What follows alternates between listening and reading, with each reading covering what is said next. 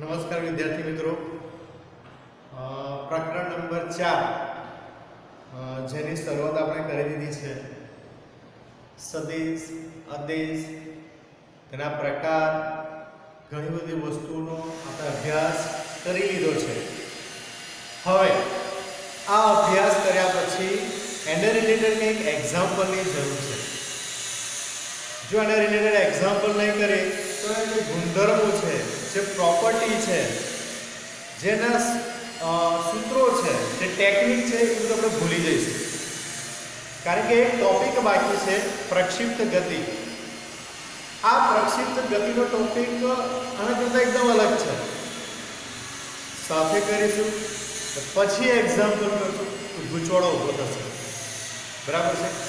તો અત્યારે આપણે સદિશ અને અદિશને રિલેટેડ એક્ઝામ્પલ કરવાના છે. તમારી સામે બે રકમ છે. બે એક્ઝામ્પલ કરવા છે. પણ બેઝિક સમજી લેવું છે. આ બે એક્ઝામ્પલ અંદર જો બેઝિક સમજી લઈશું ને, તો પછી આવનારા દસ એક્ઝામ્પલ આપણને તકલીફ પડવાની નથી. બરાબર છે? ચાલો, શરૂઆત કરીએ. શરૂઆત કરતા પહેલાં થોડુંક ધ્યાનમાં રાખીએ આપણે. કઈ વસ્તુ ધ્યાનમાં રાખવાની છે તે? સમજો કે મારી પાસે સદીશ એ અને સદિશ બી છે. જો આ બંનેનો ડોટ ગુણાકાર થાય, ડોટ ગુણાકાર એટલે એ ડોટ બી બરાબર. શું થાય તમને ખબર છે? શું થશે? એ બી cos થીટા અને જો a ક્રોસ b થાય, તો થશે ab sin થીટા. ઓકે, યાદ રહી ગયું ઓકે. સમજો કે બે સદિશ છે a અને b આ બંને સદિશ એકબીજાને સમાંતર છે. ધ્યાનમાં રાખજો. સદિશ a સમાંતર સદિશ b બંને સદિશ એકબીજાને સમાંતર છે. ઓકે? સો તે વખતે આવા જોજો a ડોટ b બરાબર ab cos થીટા થાય. ઓકે. બે સદિશ જો એકબીજાને સમાંતર હોય, થીટા બરાબર કેટલા? બે સદિશ એકબીજાને આ રીતે સમાંતર છે, બે વચ્ચે ખૂણો કેટલો બને? કોઈ ખૂણો ના બને. થીટા બરાબર 0 ડિગ્રી. યાદ રાખવાનું. આવું જ્યારે થાય, ત્યારે થીટા બરાબર 0 ડિગ્રી થાય. બરાબર છે? ઓકે. તો હવે જો, અહીં લખું. A, b, cos 0 ડિગ્રી એટલે cos 0 એટલે કેટલા? 1 તો આપણો જવાબ શું આવ્યો? Ab તો જો, a ડોટ b. જો બંને સદિશ એકબીજાને સમાંતર હોય, તો a ડોટ b બરાબર ab થાય. સમજાઈ ગયું? ઓકે, ચાલો. સમજો કે આ બંને સદિશ એકબીજાને લંબ છે. લંબ એટલે કેટલો લખાય? a લંબ. b અને આ કન્ડિશનમાં થીટા બરાબર કેટલા થાય? 90 ડિગ્રી ઓકે? એક સદિશ આ રીતે છે. એક સદિશ આ રીતે છે. જો બંને એકબીજાને લંબ થઈ ગયા, તો બંને વચ્ચેનો એંગલ કેટલો થયો? 90 ડિગ્રી થયો. 90 ડિગ્રી તો આ કેસમાં થીટા બરાબર 90 ડિગ્રી થાય હવે સમીકરણ મેળવીએ આપણે કે ભાઈ a ડોટ b બરાબર ab cos theta is equal to AB cos 90 degree અને cos 90 બરાબર કેટલા જો cos 0 બરાબર 1 થયું તો cos 90 બરાબર 0 ઓપોઝિટ થઈ જશે તો એના cos 90 બરાબર 0 0 ગુણ્યા AB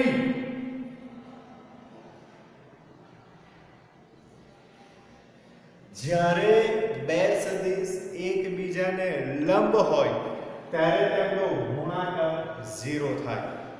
હવે સમજવાનું શું છે તે કહું. ક્યારેક આપણે બે સદિશોનો ગુણાકાર કરીએ અને જવાબ 0 આવે.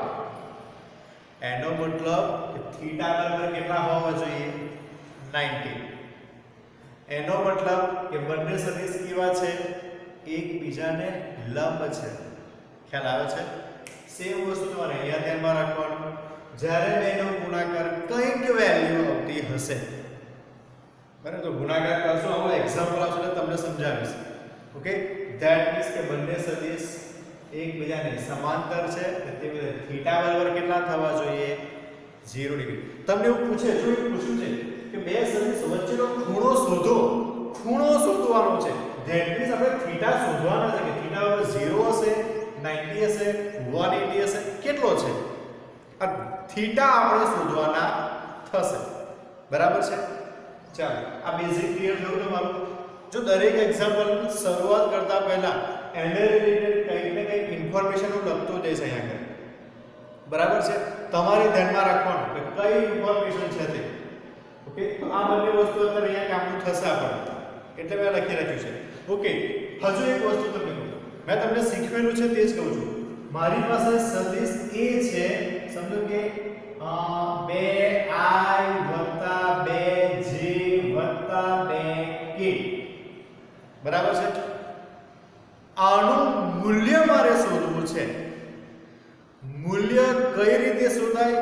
આગળ થિયરીમાં એક્સપ્લેન કરેલું છે. થિયરીમાં એક્સપ્લેનેશન મેં આપ્યું છે. બરાબર છે?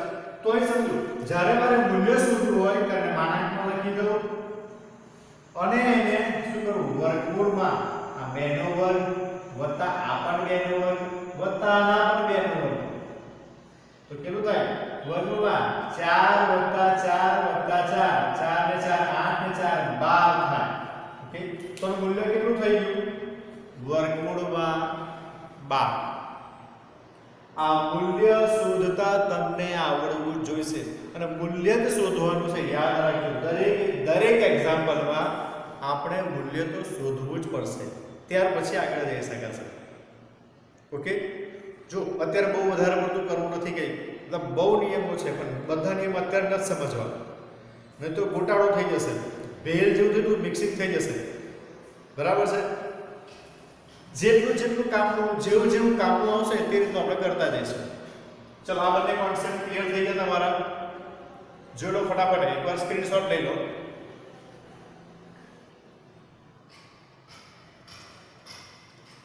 ઓકે, ચાલો.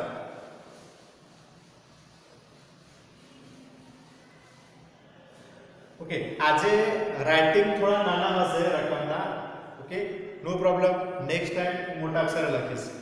તમને ખ્યાલ આવી જશે. ઓકે ચલો હું રકમ વાંચું સાંભળજો. પહેલો એક્ઝામ્પલ જો 0.5 i 0.8 j ck એ એકમ સદિશ છે. હવે એકમ સદિશ કયો છે? એનો મતલબ એકમ સદિશનું મૂલ્ય કેટલું થાય? એક. ધેટ મીન્સ કે આખા સદિશનું મૂલ્ય છે એક. બરાબર છે? તો આ c બરાબર કેટલા થાય એ આપણે શોધવા છે. કે બહુ ઇઝી એક્ઝામ્પલ છે. બરાબર છે? નીટમાં એક વખત પૂછાઈ ગયેલો, ઘણા બધા નીટમાં પૂછાઈ ગયેલા એક્ઝામ્પલ છે. હવે તમને શું કરે? વેલ્યુ થોડી આમ તેમ ચેન્જ કરે. પણ મેથડ તો સેમ જ હોય. ઓકે? તો જરા ધ્યાનમાં રાખીને ચાલો. શરૂઆત કરીએ. પહેલો એક્ઝામ્પલ આપણે શરૂઆત કરીએ છીએ. એક્ઝામ્પલ નંબર વન હું આને કોઈક સદિશનું નામ આપી દઉં.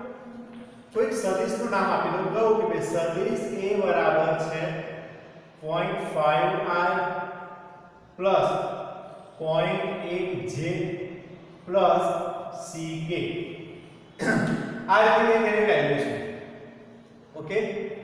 હવે મને શું કહ્યું છે કે આનું મૂલ્ય 1 છે. કેટલું મૂલ્ય છે એનું? 1 જો મૂલ્ય કયું છે, જો ck એક આખો સદિશ 1 છે. તો મારે માટે લખવું હોય તો આ સદિશની વેલ્યુ કેટલી છે? એક છે. આખા સદિશની વેલ્યુ કેટલી છે? એક. એકમ સદિશ મીન્સ એક થયો. ઓકે હવે આનું મૂલ્ય મને લઉં છું. તો જો આ રીતે લઈ લો 0.5 નો સ્ક્વેર પ્લસ 0.8 નો સ્ક્વેર પ્લસ સી સ્ક્વેર કારણ કે અહીં આગળ વેલ્યુ સી છે. કે જેની વેલ્યુ શોધવાની છે. તો એના માટે આપણે શું રાખીએ છીએ? C સ્ક્વેર ઓકે ચાલો. હવે આગળ જઈએ. 1 બરાબર 0.5 નો સ્ક્વેર હવે 5 નો સ્ક્વેર થાય 25 5 નો સ્ક્વેર કેટલો થશે? 5 નો સ્ક્વેર થશે 25 તો 25.25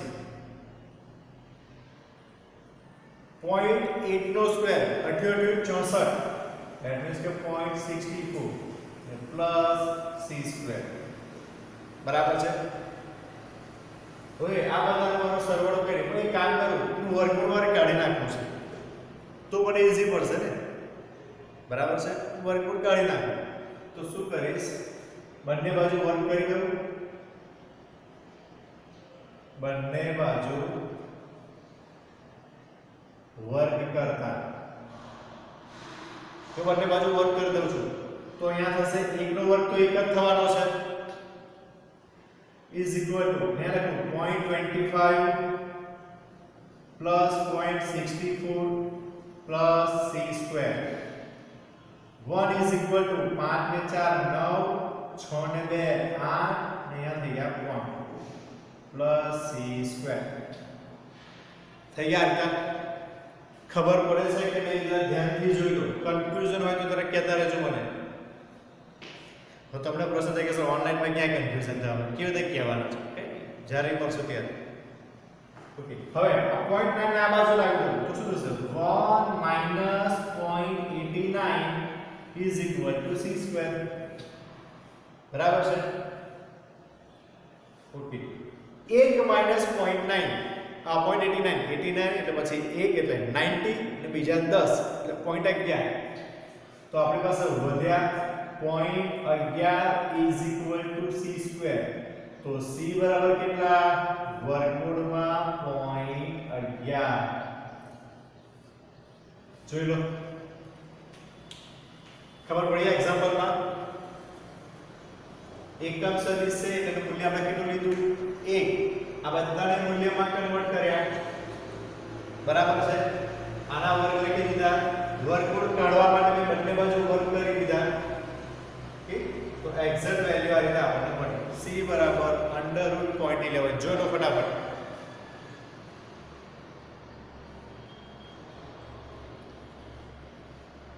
ચાલો ક્લિયર થઈ ગયું ઓકે